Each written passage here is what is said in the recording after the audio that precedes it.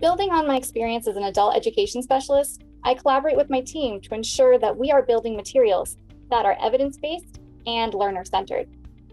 We strive to ensure that our materials are accurate, effective, and engaging, making sure that we can give every single new hire the opportunity to become a stellar agent. As a nurse on the transition to care team, I work with our members who have recently discharged. If there are any gaps in care identified, I work with the members and their care providers to close those gaps so that the member has all the tools that they need to succeed in the community.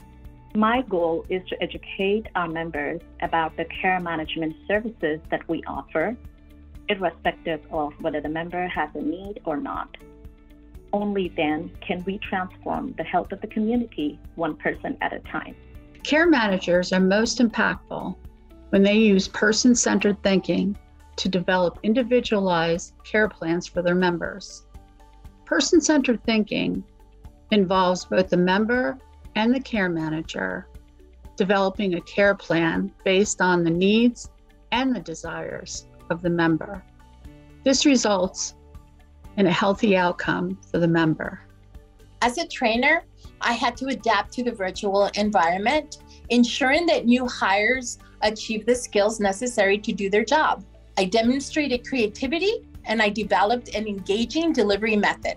I hope the impact on these learners shows a commitment to excellence, a strong work ethic, and pride in their work.